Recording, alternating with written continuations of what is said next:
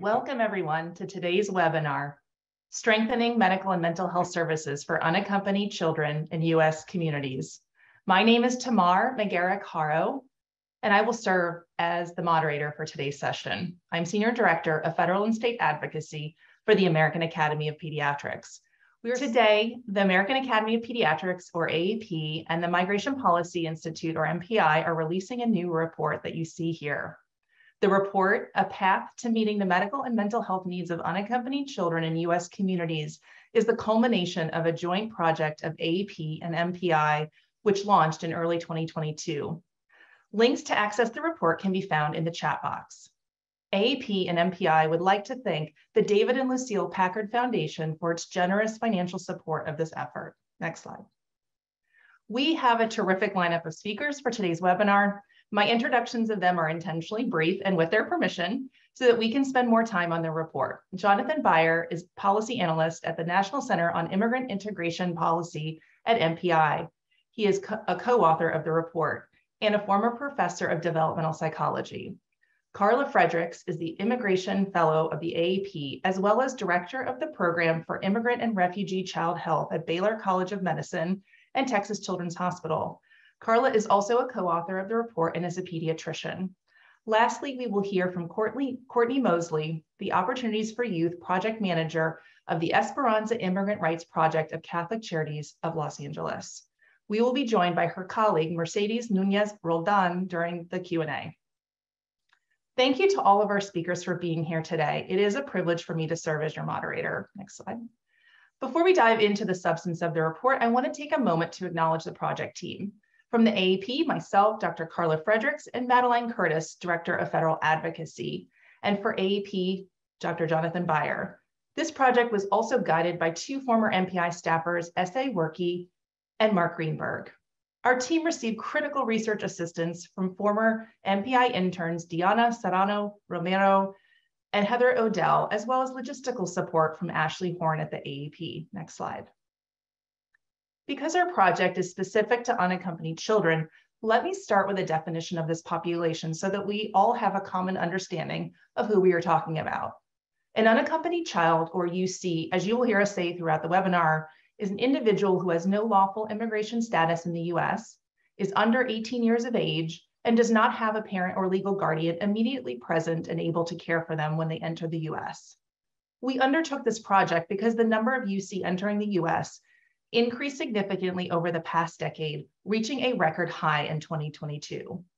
Once UC make the transition from US government custody to parents or other adult sponsors in US communities, the services and supports they need to thrive can be difficult to access. Among the most essential are medical and mental health care. Children who miss preventive services like vaccinations and recommended screenings are at greater risk of disease or progression of conditions that could have been identified or prevented. UC may be unable to enroll in school or participate fully in activities of daily life as a result of limited access to care. Given that many UC will ultimately remain in the US permanently, ensuring they are healthy, protected, and able to contribute to their communities benefits society more broadly. Next slide. Many of the reasons behind why children migrate to the US have a direct impact on their medical and mental health needs. Children may face violence in their homes at the hands of family members. They may be targeted by gangs in their local communities. They may be persecuted by their governments for being Indigenous peoples or for being a member of the LGBTQI plus community. Climate change or natural disasters may impact families' ability to sustain their livelihood or to live safely. Some children seek to reunify with a parent or other family member already living in the US. Poverty and a lack of educational opportunities, which have worsened during the COVID 19 pandemic, may also be factors.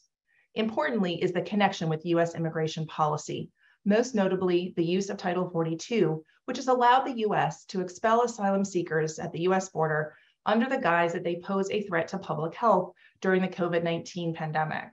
Because UC are exempted from this policy, some families have chosen to self separate so that they're now unaccompanied child would be permitted to enter the US and pursue their legal right to seek asylum. Next slide. While the focus of today's report is on what happens to UC uh, after UC leave federal custody, we wanted to spend a minute describing the process UC go through when they migrate to the US. Here again, this process has a direct impact on their medical and mental health, and so is directly relevant to the clinicians, schools, communities, and families who will encounter them. After undertaking the harrowing journey from their home country where children are highly vulnerable to physical and sexual violence, exploitation, and other dangers, upon entering into the US, UC are apprehended by the Department of Homeland Security's Customs and Border Protection, or CBP, where they are taken to a CBP run facility for processing prior to being transferred to the Department of Health and Human Services Office of Refugee Resettlement, or, or ORR. This is required to happen within 72 hours. Medical and mental health services in CBP facilities are minimal beyond emergency situations. The facilities themselves are highly traumatizing for children, especially UC, and lack trauma-informed practices. Upon transfer to ORR, UC are usually placed in congregate care environments or in more limited cases, foster care placements. As of early 2023, ORR operated a network of approximately 300 programs in 27 states that provide housing, food, clothing, importantly, healthcare, education, recreation, case management, and access to legal services. The average length of stay for a UC and OR placement was around one month in 2022. During this time, OR works to find and vet a sponsor for the UC, typically a parent or other relative or family friend with whom the child will live while pursuing immigration relief. It can take years for UC to have their immigration case heard, which will determine whether they can remain legally in the US or must repatriate to their home country. Next slide. In 2022, a record 127,447 UC were released to sponsors. UC are typically adolescents, nearly three quarters of whom are between 15 and 17 years of age. The vast majority of UC come from Guatemala, Honduras, and El Salvador and arrive in the US after crossing its southern border. MPI's Data Hub, a link to which you'll find in the chat, and you see here, shows the number of UC released to sponsors by state and county for each fiscal year. Next slide. Shifting now to the data collection and research design of the AAP MPI report, our project team conducted three site visits in 2022. In Houston, Los Angeles, and New Orleans, our team held roundtables with more than 100 professionals and young people who arrived in the US as unaccompanied children. We want to take a moment to honor the young people who showed tremendous bravery in sharing their journey, their perspectives, and their recommendations with us, many of which are reflected in the report. We also interviewed key informants across the US.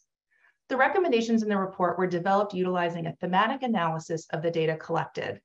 And the draft report was reviewed externally by numerous subject matter experts, and we thank them for their time and expertise. Next slide. Here you will see an overview of the report and how it is structured, which includes providing background on UC and the US healthcare system, barriers to medical and mental health services, promising practices, and recommendations. It is here on the recommendations where I will turn the presentation over to Jonathan Beier, who will provide you much more detail on, the, on selected findings and recommendations. Jonathan, over to you. Okay, well, thank you, Tamar, and uh, thanks to all of you for joining us. I am very excited to share some of our findings with you today. Next slide, please. So this figure is an overview of what we'll be discussing today. The big picture from our research is really quite clear. The challenges facing UCs seeking medical and mental health services are complex, and that's because they arise from multiple factors that each interact with one another. Our report illustrates those connections in detail. Um, for this webinar, however, we'll be organizing around steps that different actors can take within that system. So for myself personally, what I'm going to do is begin by focusing on the specific barriers that can be addressed through policy change at the federal, state, and local levels of government. And I'm going to have a particular focus on the Office of Refugee Resettlement, given its role in unaccompanied children's lives. Next, Dr. Fredericks will describe how different organizations can improve practices within that policy landscape. Now, there are many ways that healthcare systems can be made more accessible to unaccompanied children, but there's also a lot that schools and other community-based organizations can do. So our story begins when unaccompanied children are being released from OR to the home of a sponsor. And as Tamar mentioned, that's usually a parent or other family member. At that point, the sponsor assume, assumes responsibility for the child. Um, however, what we find is that children and sponsors just don't have enough information or guidance from ORR to take care of the child's health needs. They're left unaware of the full range of the child's needs, their medical and mental health uh, needs. Uh, they don't know what to they need to do next because everything can be very complicated, and they don't know how to do it. Uh, so it's just not fair to put that burden on them initially because the US health system is unfamiliar to them and it's hard to navigate. Uh, so we'll begin by reviewing some steps that ORR can take to make things easier for unaccompanied children and their sponsors. So first, what we recommend is OR ensure that it provides complete and accessible health-related information to UCs and sponsors. So currently, when leaving ORR, children receive a discharge packet that details some of the health-related information collected during their stay in OR facilities. The problem we find is that it can, one, include so much paperwork that it becomes overwhelming. Um, two, at the same time, it might not even include all the most important information, like a list of the child's diagnoses. And it's also in English. So we recommend first that OR ensure that somebody actually sits down with the sponsor and the child to review that packet with them, including the health information, in their language of preference. And to make that even easier, we also recommend OR create a key information summary sheet that describes the child's health information. So that could include diagnoses, uh, prescriptions they take, needs for follow-up care. We also heard about health facilities in the community that don't always recognize sponsors as being able to provide medical consent for the minor child, and that can lead to real barriers as well. So we also recommend the discharge packet include an official document that states that sponsors can provide that consent. Finally, to help families learn about the US health system and all its complexity, we recommend OR adopt a pro program that actually we already know works. So the federal government provides legal orientations to UCs and sponsors to help them understand their rights and how to pursue immigration relief. A similarly structured health orientation program, ideally offered in conjunction with the legal one, would put families in a much better position to find and continue care for the child. It could do lots of things. Uh, for instance, it could explain the different types of care to help with health literacy. So for instance, the distinctions between primary and preventive care and the importance of each. Um, it could also walk them through benefits they may be eligible for or the financial assistance available in their area. Uh, it could also address critical misunderstandings and confusions, uh, like the rules related to public charge. So these steps would go a long way to provide more information and education to families, but we don't expect they could do everything on their own. So next slide, please. Um, for that reason, we also recommend that ORR provide medical and mental health case management to all unaccompanied children for at least one year after release. So currently ORR does have a post-release services program that provides different types of support for some children after they leave federal custody, although long wait lists have been a problem. Now ORR is currently revising that model to provide more services to more children. However, in our research, we saw the essential role that community-based case managers play in helping children find and maintain healthcare. We feel it's important to give every child access to this level of support. Uh, more generally, we would also encourage ORR to rethink what PRS should do. So currently it's conceived of something like a brokerage model, where the goal is often referrals for services. We would encourage ORR to move beyond that and actually support case managers whose goal is to make sure that the child actually receives the services they need. But to do that, ORR would need to take a couple steps.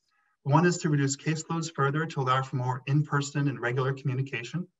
Another would be to prioritize housing enough case managers and ensuring that they're culturally sensitive and positioned in the multidisciplinary organizations where they can be most effective. Now that's an element that we're going to hear about in a lot more detail later. Even if we took these steps, however, children still face a really challenging situation when they're released. Uh, for most, there are just too few options for affordable medical, medical and mental health care.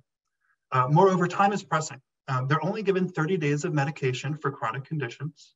They likely need vaccines to enroll in school. And they also just need to establish a medical home for ongoing care, including for mental health, mental health services.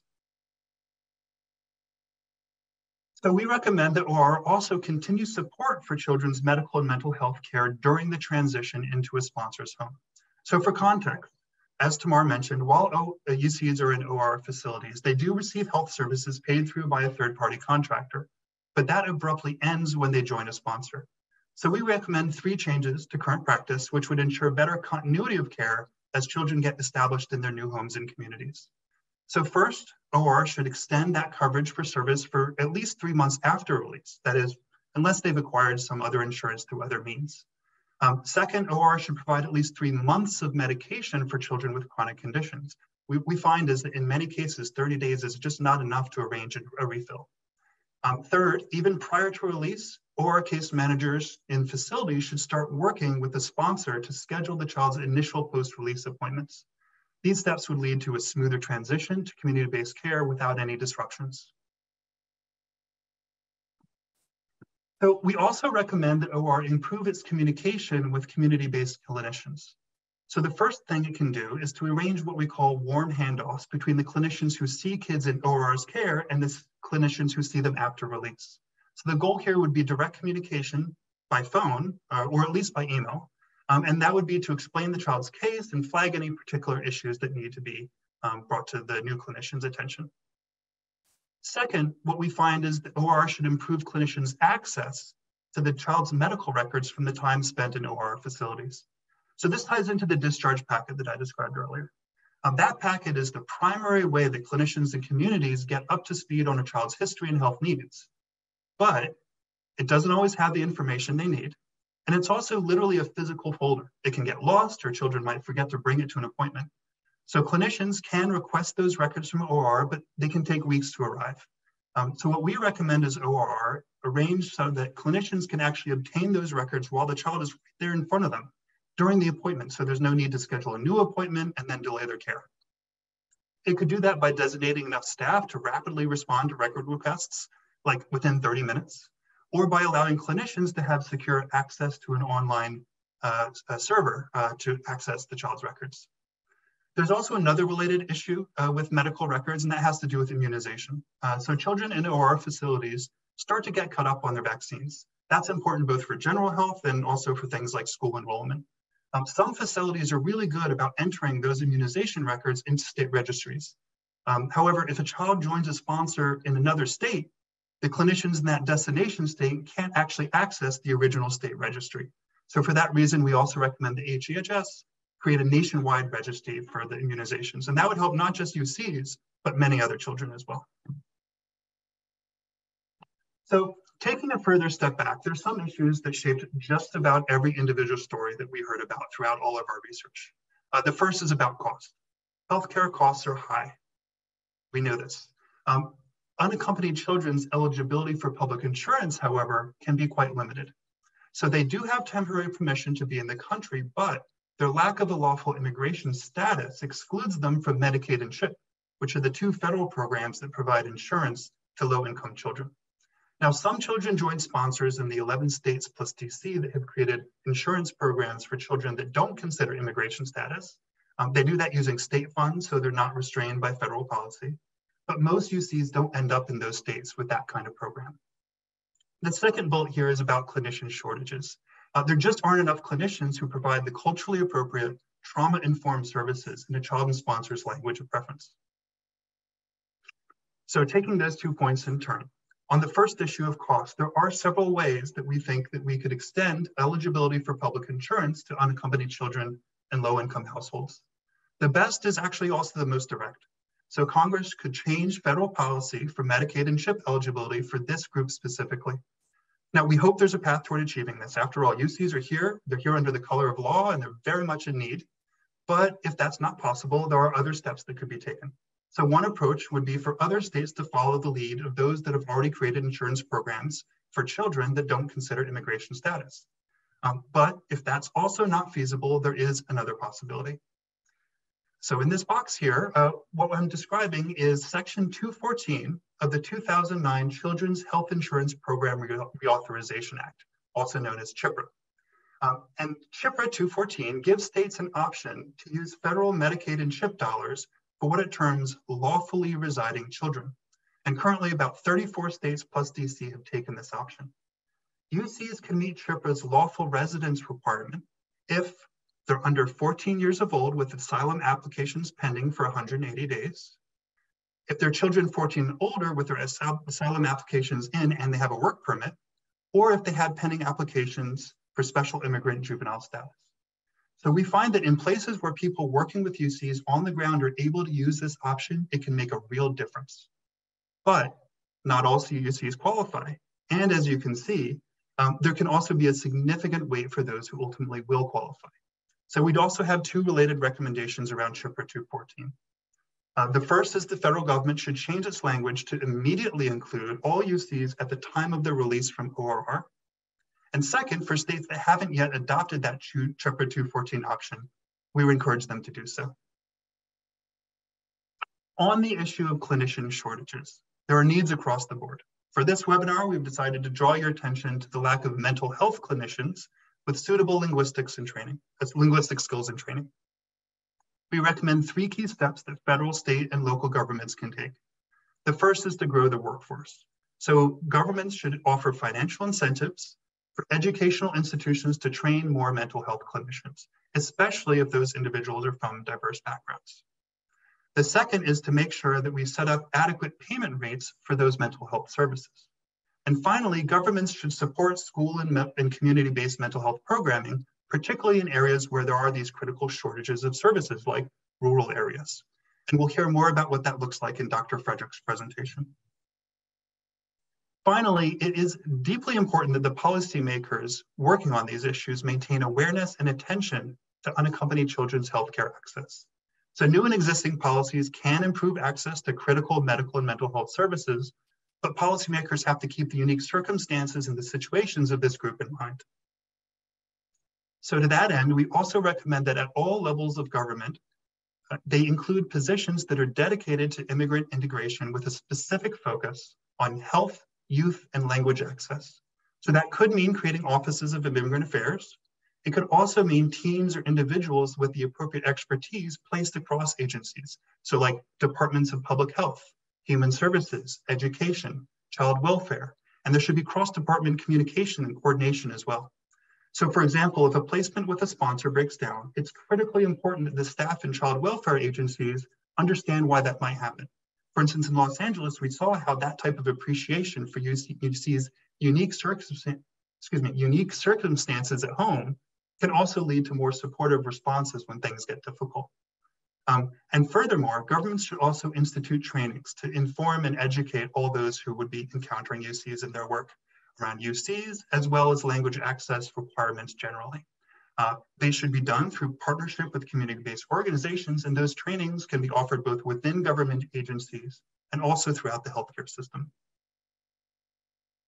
So that brings me to the end of my portion of the presentation our findings part one. So to recap, I've offered a high level summary of what both ORR and government, and government offices at all levels can do to create a policy landscape that pulls down barriers and is also more friendly to unaccompanied children's need for medical and mental health services. So now Dr. Fredericks will discuss what concrete steps health systems, schools, and communities can be taking right now. Thank you, Jonathan, for that excellent overview of the first two categories of recommendations. As Jonathan mentioned, I will now walk us through the remaining three categories of health systems, schools, and communities. Next slide. When we think about the traditional healthcare structure in the United States, we realize it is actually not conducive to meeting the medical and mental health needs of unaccompanied children. First of all, it's based on a system where health insurance is typically required to be able to access services. As we have heard, most unaccompanied children do not have insurance as they enter US communities, creating a barrier for them to access care. Also, traditional healthcare is delivered in brick and mortar facilities, relying on people to come to us as healthcare providers to be able to get the services that they need. Our facilities, especially in primary care and subspecialty services, are typically only open during working hours Monday through Friday, which creates a barrier for people, like many sponsors, who are working jobs that are paid by the hour. So if they do not work, they do not get paid, making it very hard to take time off to take children to appointments. Lastly, the predominant language is in English. Most unaccompanied children speak a language other than English, often Spanish, but it's also important to note that there is a subset of people who speak other languages, including indigenous languages from Central American countries. Health systems can work to break down these barriers by doing four major things. The first is that they can create a welcoming environment for newly arrived children and families. We know that unaccompanied children and sponsors also have a very strong fear of accessing health services. It could be fear of stigma, discrimination, or other negative effects from accessing care. What we can do is create an environment where they feel safe and supported. The first way to do that would be to ensure that someone who speaks their language is present or available by phone or video and is certified to speak that language in a medical context. Secondly, health facilities can hire staff that reflect the community that they serve and train everyone who interacts with patients in implicit bias and cultural humility. Clinicians should have additional training in trauma informed care and best practices for caring for unaccompanied children, because those topics are not typically part of degree programs. The second recommendation for health systems is to increase their physical accessibility and community outreach. When you position a clinic where children are, they're much more likely to be able to access those services. Nearly all unaccompanied children enroll in school after they are released from ORR custody. So, school based clinics can serve a very important role here. Mobile clinics that either go to schools or other community organizations frequented by unaccompanied children are another great option.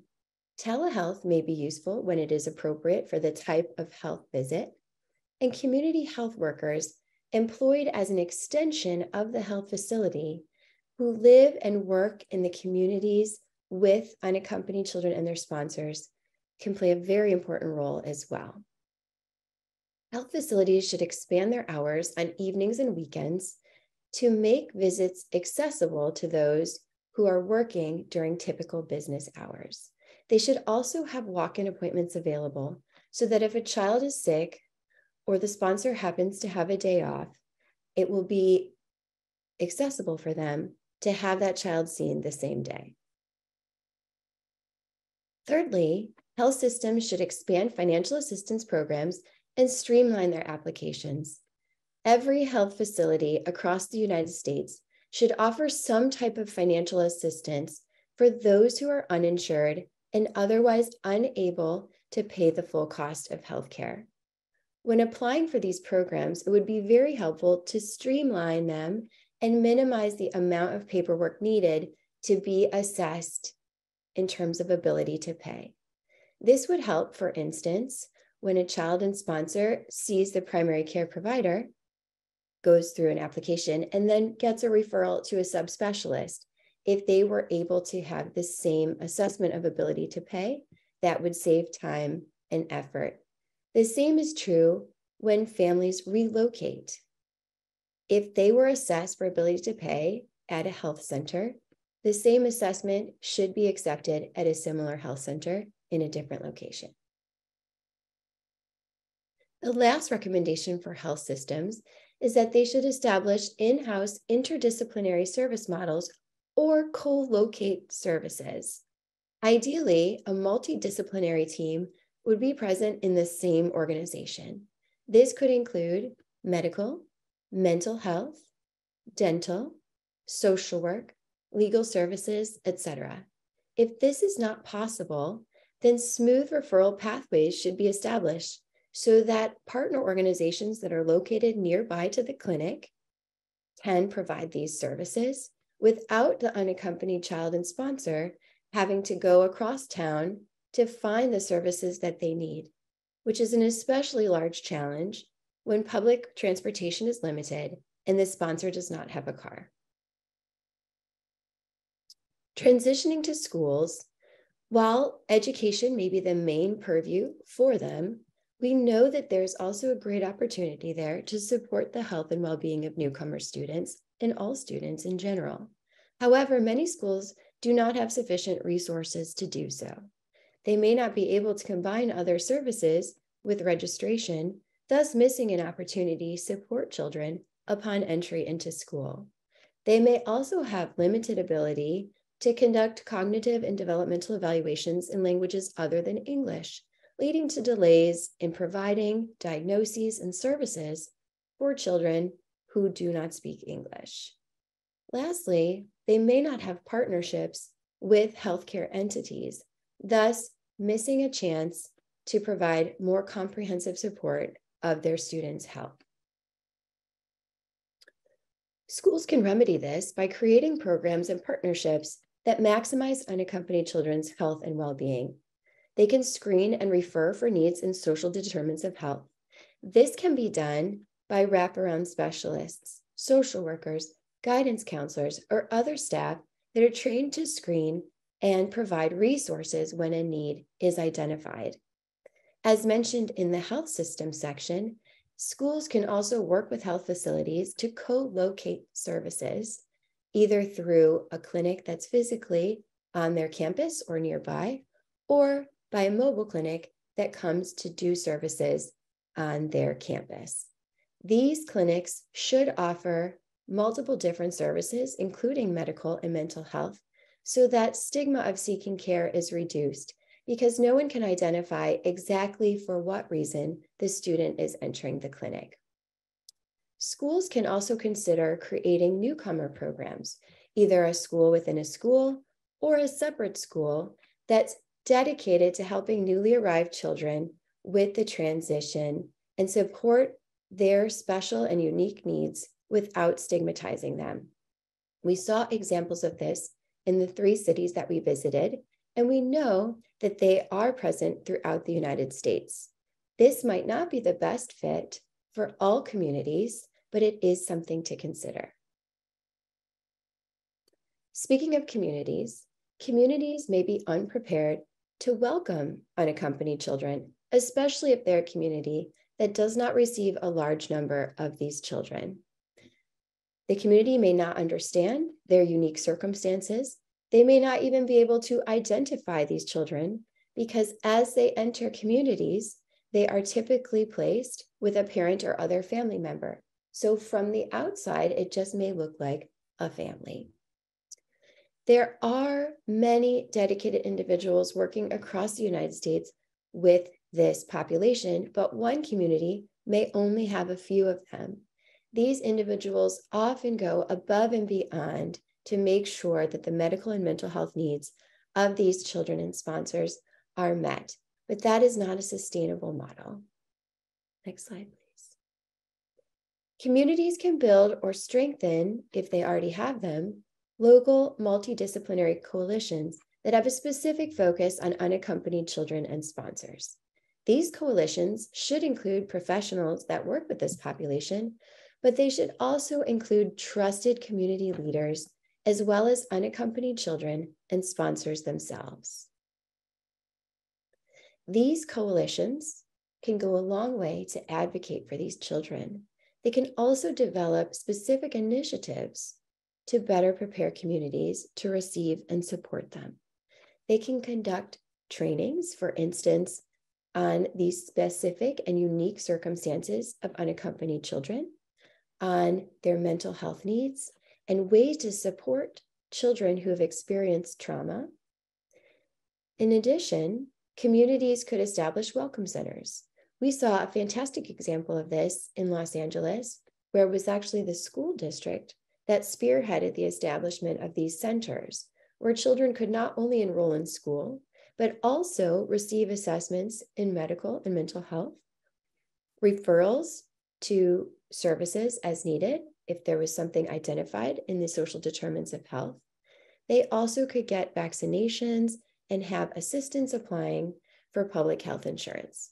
While we recognize that not every community in the United States has similar supports, that they have in Los Angeles or California, but there are aspects of that initiative that can be replicated throughout the country.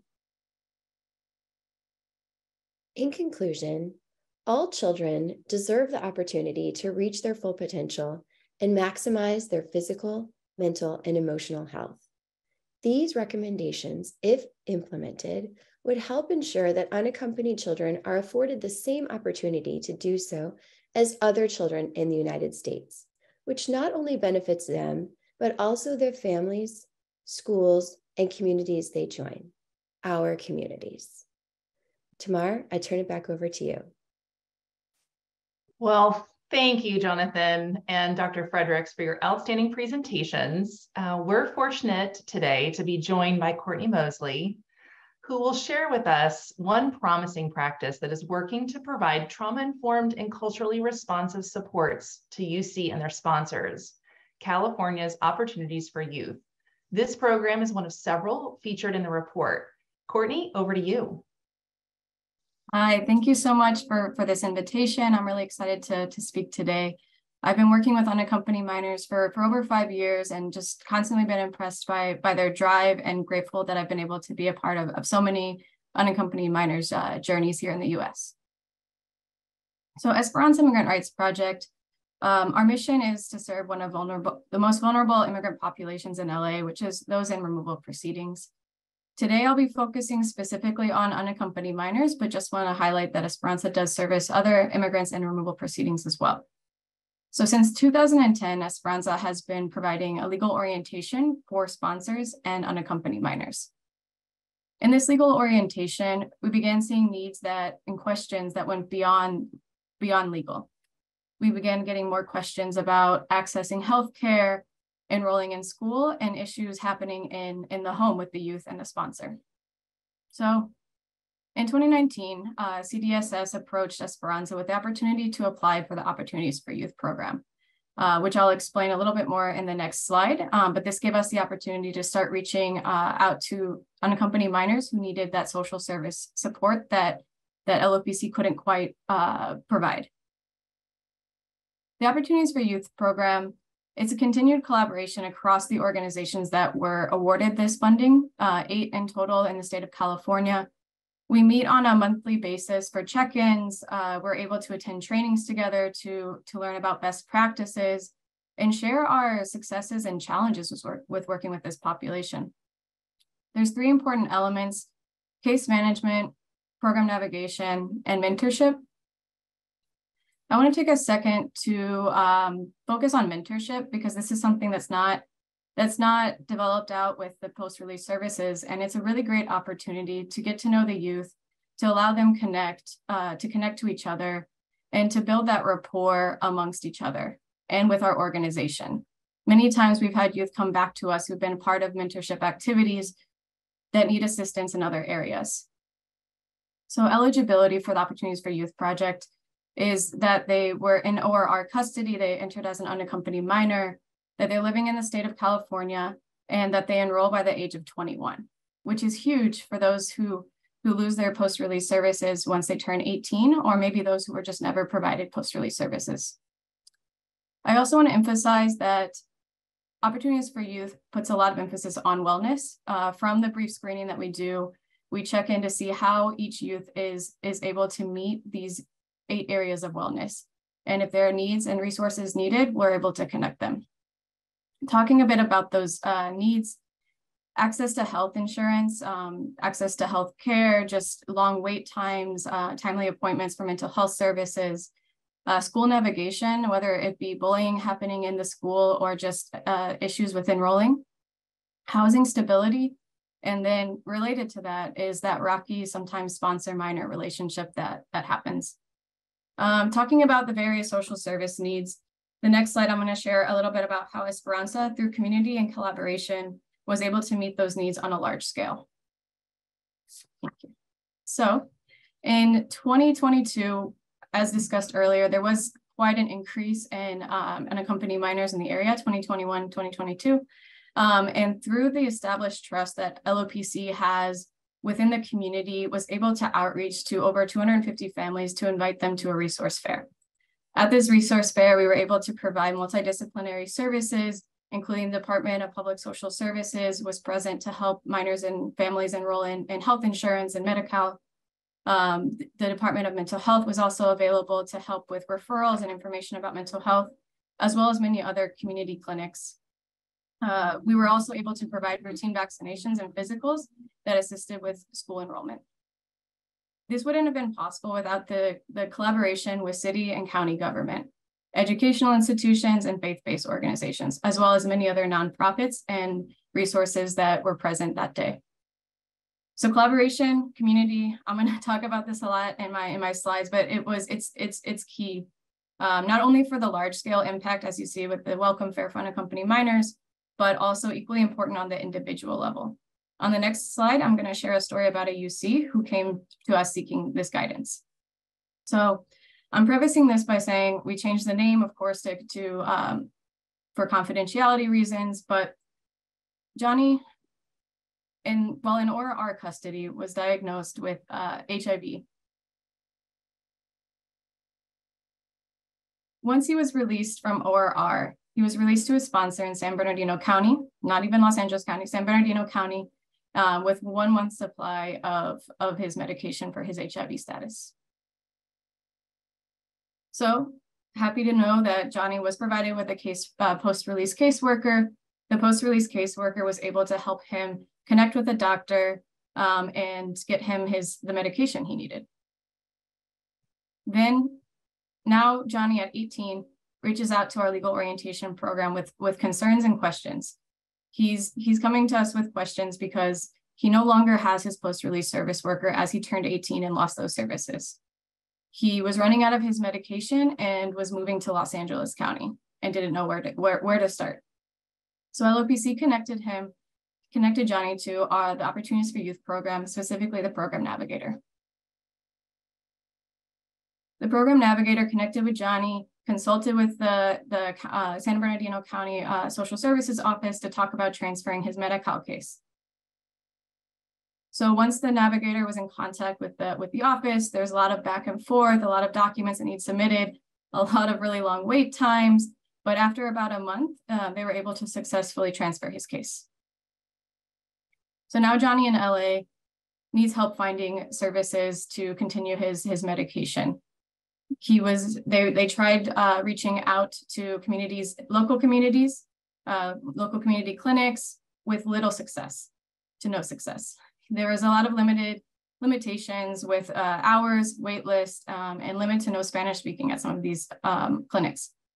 Then finally, um, with time ticking, medication supply dwindling, they were able to look into other areas in Los Angeles and got Johnny connected with an interdisciplinary clinic at Los Angeles Children's Hospital, La Linterna. Unfortunately, this resource wasn't as close to Johnny, but it was able to fill the needs he had. He was able to see a physician to get his medication he was able to see a specialist and, and actually also got connected with an immigration attorney. Now, this wouldn't have been possible without the, I'm going to stay on this slide for just a second to talk about the Unaccompanied Minors Collaborative and the fact that this wouldn't have been possible without that. It's a, it's a multidisciplinary coalition that in 2016 Esperanza developed to connect with other community organizations, uh, legal nonprofits, uh, hospitals, just different people in different capacities to connect with resources for unaccompanied minors, as well as participate in trainings uh, to learn about best practices, which is where we, we met Dr. John Harlow and learned about La Linterna. Next slide, um, talking about just key takeaways. As I mentioned, the Unaccompanied Minors Collaborative being really crucial, collaborations with local government to make things like the Welcome Fair happen, um, we also collaborate oftentimes with universities, including UCLA medical students and Pepperdine Community Counseling Center to increase access to, to services um, and supports. Uh, there's limited resource, uh, numerous uh, hurdles that, that unaccompanied minors face as, as discussed and as is discussed in, in the report.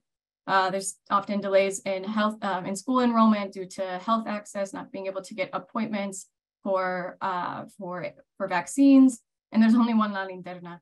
As discussed in the case with Johnny, he wanted something close to him. Um, LA is huge. if, if y'all haven't haven't been to LA, it's huge. So being able to connect to La Linterna is great, but it can be a hurdle when you have to figure out transportation and traffic and and all of that. So unfortunately, there only exists one La Linterna. Um, sponsors not being legal guardians is also a, a major limitation and having issues with accessing healthcare because of that. Um, and then just some improvements in, in services, both on the federal and state level, highlighting what everything that that that Jonathan and Karla had mentioned. Um, but just yeah, increasing communication across uh, from shelter to sponsor, um, and then in the state as well, continuing to fund programs like the Opportunities for Youth program. It is a pilot program that we're hoping will be will be funded again in the in the governor's budget. But having a program like this allows for youth to connect and receive the services that are that are very much needed, um, especially those who turn 18 and might lose their post-release services. Unaccompanied minors, they're a part of our community and they're always going to be. So investing in programs to help youth become independent and successful is going to help the community as a whole. Thank you.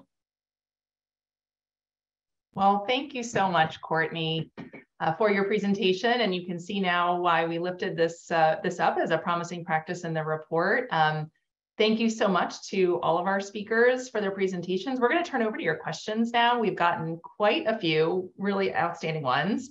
Uh, as a reminder, uh, please submit your questions using the Q&A function, and we'll try to get to as many as we can.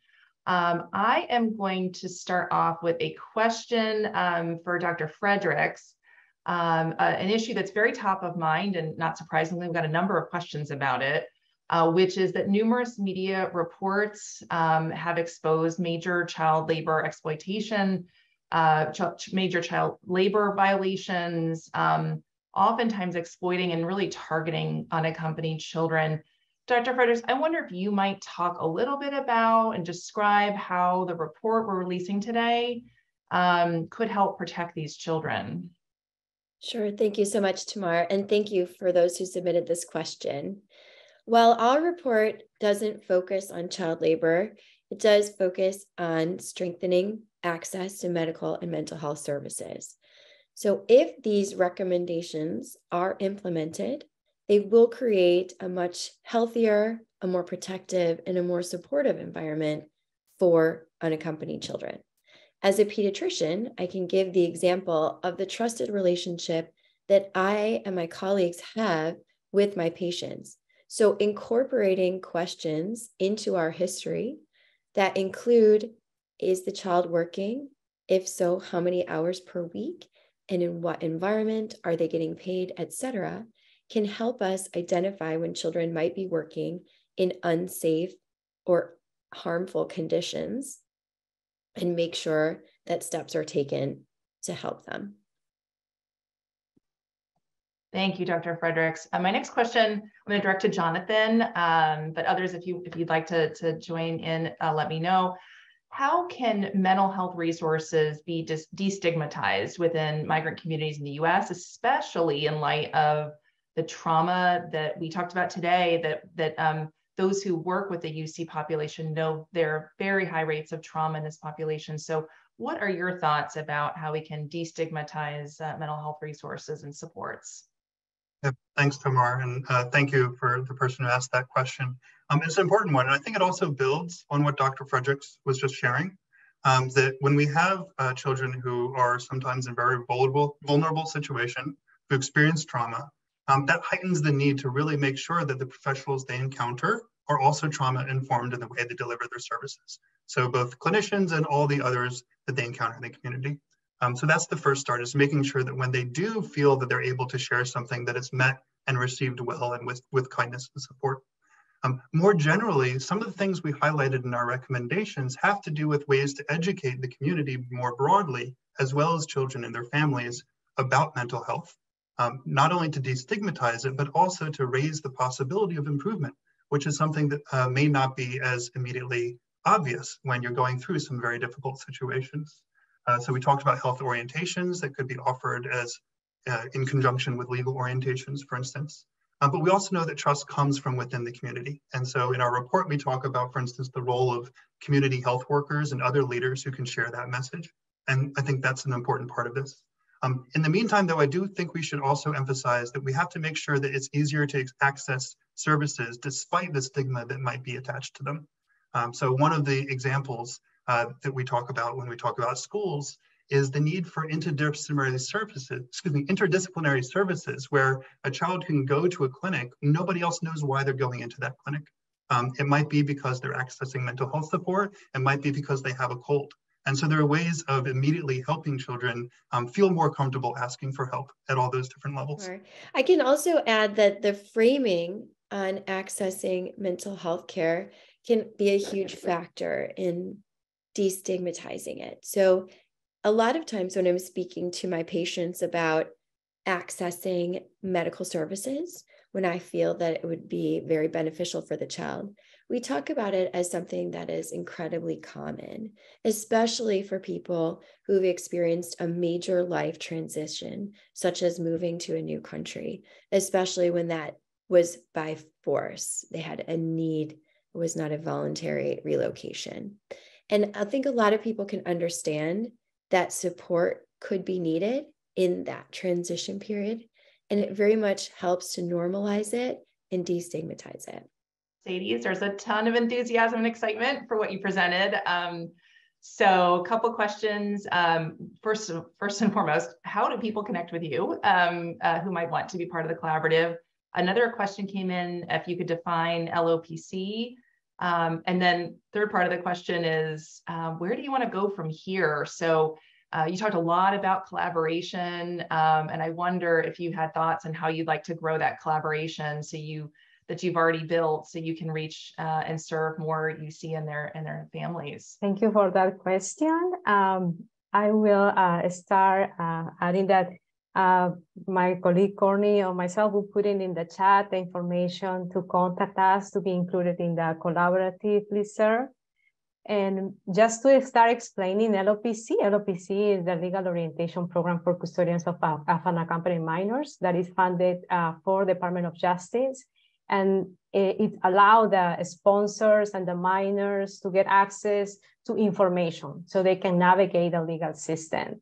Um, as Courtney mentioned, uh, unfortunately, this is focused mainly in the legal aspect, but many of our legal orientation programs that are about 15 in the country uh, have incorporated in the last years uh, services, uh, more holistic services to allow to connect and accompany children with, with other, uh, other needs, other social services or agencies in our area. And to respond to your question, what we like to, to see our collaborative, uh, one of the, our first goals is to expand this collaborative. It's true that Los Angeles received the second largest numbers of unaccompanied children in the United States, but this is at the release stage. Um, UCs, uh, after they turn 18, they age out, they move to an area where the cost of living is more affordable. So our goal is to create this platform, expand so organizations can share resources, share needs, and also share trends. So we can get together and strategize uh, and advocate uh, for, uh, for uh, the unaccompanied children community. And another goal that we have, it's taking advantage of this uh, collaborative is to uh, create a welcome center a welcome center uh, where organizations can come, uh, provide services, and also where unaccompanied children and their families feel welcome. Thank you. Thank you. Um, actually, another question for Mercedes and Courtney um, that came in, um, uh, and this is a really interesting one because we do touch on it in the report. Um, do you get requests from children and youth who are living with sponsors for help with things like enrolling in Medicaid, um, of course, uh, Medi-Cal in California. Um, this uh, person asking the question noted that they're seeing issues where UC are not allowed to enroll in Medi-Cal because they need an adult to file for them.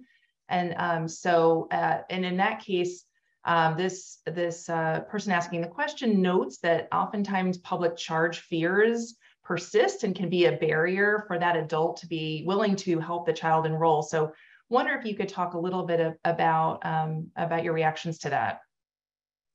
I can I can touch on that really quickly. Um, one of the most common needs we see, um, one of the most common referrals, because we provide that legal orientation, we're working with youth who are just just coming into Los Angeles. So that's one of the first things that they want is to get connected with mental or with uh, health services, uh, Medi-Cal but yes, we often see this issue that they're either denied or there's there's fear in the household. So that's where advocacy and just education really comes into play. And so whenever that program navigator or caseworker is working with the, the families, we put a lot of emphasis on that. Um, we're actually working with the UCLA medical students in the summer to do uh, a series of workshops to discuss healthcare system in the US and where we can like, we can clarify some of these misconceptions on on public charge and then as well just what how to navigate it how to apply and and have people who are fully informed um, be able to help with those applications, I think is also that understand the population um, is really important. Mm-hmm. Great. Uh, my next question that came in is, is one I know that uh, Dr. Fredricks has a lot of experience with. So I'm going to invite you to respond, which is around medical consent.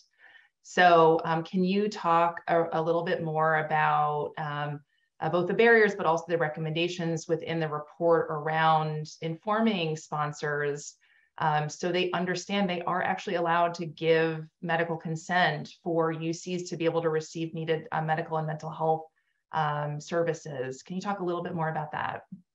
Absolutely. Thank you.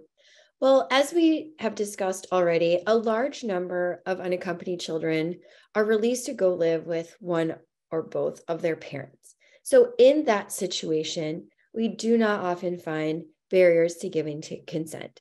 So, we're talking about the children that are going to live with other family members or unrelated sponsors. In that instance, ORR gives them a verification of release document. This document is to show that the sponsor is responsible for the health and well being of this child. However, it does not confer legal guardianship. And so, what we find is that there are inconsistent practices across the United States as to whether or not that document is accepted as proof that this person, this sponsor, can give consent for the minor child. So it's it's more of variability within health facilities and health systems than necessarily a state by state variability. That is why we recommend that there is a very clear document that says this person can consent for medical and mental health services. But I want to be clear that we are not advocating that they say that this is the only person that could consent for medical and mental health services. Because there are often cases where the child does have parent or legal guardian that is potentially living in another country and they have a sponsor in the United States. So that parent that is living outside of the country should not be excluded from having the ability to consent for their own child but the sponsor could additionally be another consenter. Great. Um, a number of questions coming in. I know we're getting close to the end of our time together, but I'm going to throw this one out um, for, for several to, to respond to, which is around sources of funding. Obviously, you know, this is a big challenge that we all face. Um, uh, uh, and, and in some cases, we know it's going to take resources to be able to implement the recommendations in the report. So um, would invite everyone actually to offer their thoughts. Um, at, um, Courtney and Mercedes, if you want to reflect at all on your sources of funding, um, how that might be replicated in other places. Um, Jonathan, in particular, you know, how do we help, and, and Dr. Fredricks, how do we help schools um, who are so cash strapped and so uh, resource and personnel strapped um, to be able to maximize opportunities to support their um, medical and mental health services within their uh, school settings? I can jump in to start that. Uh, thank you, Tamar. And I think that you know that's a question that's come up quite a lot, uh, simply because it's you know at the at the root of it, uh, we're offering these recommendations as things that would materially materially improve conditions for unaccompanied children and families. But in some cases, we also to make sure there's support to actually implement them.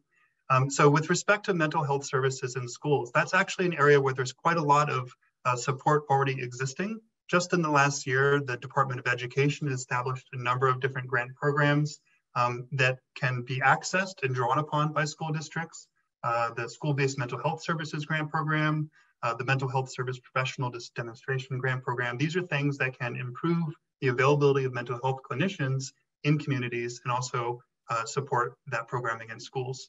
Um, there are other things that I think that are um, important to keep in mind is that some of the recommendations we've offered uh, do require more congressional appropriations. I would offer that the um, Office of Refugee Resettlement has already committed to some really dramatic improvements in its like legal representation of unaccompanied children, uh, that it's also expanding and revising its PRS program. And I think there is some wind here in improving these things in ways that are guided by uh, administrative budget uh, proposals and then actually have found some support in, in, in, gaining some funding. So it's not that these things are all um, uh, uh, immediately doable, but I think they're things that we can build towards doing with proper support and recognizing the improvements in unaccompanied children's health that they would bring. Would anyone else like to take that? Otherwise, we're going to move on to um, uh, just some closing thoughts. Um, I just wanted to give all of our speakers today the opportunity to have a last word here, and then we'll have a closeout slide. Um, uh, just to say thank you to everyone who submitted questions. I know we're not able to get to all of them, and I see a, a, a, a very constant theme of, of, requests for partnerships. So um, you'll be hearing from us after the report um, and after this webinar. Um, but for any speaker who would like to have a closing thought and parting word, um, what is the one thing that you'd like uh, those uh, who are participating in today's webinar to take away from the report? Um, and and uh, uh so I'll leave it to you to, to um, highlight what you'd like to. Thank you. I can uh, just share the importance of uh, cultural responsive holistic services for unaccompanied children so they can achieve well-being here in the United States uh, also uh, create more uh, spaces for the community to be aware of their needs. And finally, collaboration and a strong advocacy. Uh, and this is uh, related to, to these uh, groups and collaborative that our communities can create to support our unaccompanied children in the United States. Thank you. Jonathan? Sure. so I think one thing to keep in mind is that in many ways, a lot of the recommendations and observe, observations we have offered are designed to create the conditions for children to do what they want to do, which is to thrive in their new communities. And to that extent, one of the ways that we can support that is recognizing their sources of resilience. So speaking as a developmental psychologist, I can offer that it's their connections, both to their parents and caregivers, as well as to their peers, their engagement with school, it's these sorts of things that are likely to support them through this transition they're making and put them in the best position to move forward. Uh, so while we're talking about ways to establish a policy landscape and have organizations doing their best for these children, we also realize that giving them room to grow and move forward on their own is about also supporting the strengths they already have. I'll just add uh, briefly that unaccompanied children are just that. They're children. And a lot of these children have experienced significant trauma in their lives. So I think it's very important for us as we go forward and we think about ba- ways to best serve them that we keep that as the foundation, that these are children who've oftentimes experienced trauma. And we should be looking to support them physically, mentally, and emotionally in any way that we can. Great. And Courtney, Thank you. Um, no, I think highlighting a little bit of what Mercedes had mentioned as well, just increasing awareness in the community. Everyone's doing it who's here today, those who've just learned about unaccompanied minors for the first time, those have been working with them for years, uh, just keeping them in mind when, when creating creating services, when creating policy, and just knowing that these population exist. It's only been increasing over the last decade, as, as Jonathan mentioned. So just increasing this awareness, the awareness and making sure that we're including them into how we develop our services and, and our approaches. Great. Well, thank you all so much for those closing thoughts. Thank you for participating. Um, as I close us out here, I want to invite everyone to read the full report, which can be accessed through the AAP and the MPI's websites, which you see here um, and encourage you to really think about ways that you might implement the recommendations in the report in your own community. Um, as a reminder, the webinar will be and slides will uh, be available to you after um, uh, later this week. Um, if you are a member of the media, um, points of contact are listed here for both the AAP and the MPI. And with that, thank you for your participation and I hope you have a wonderful rest of your day. Thanks so much.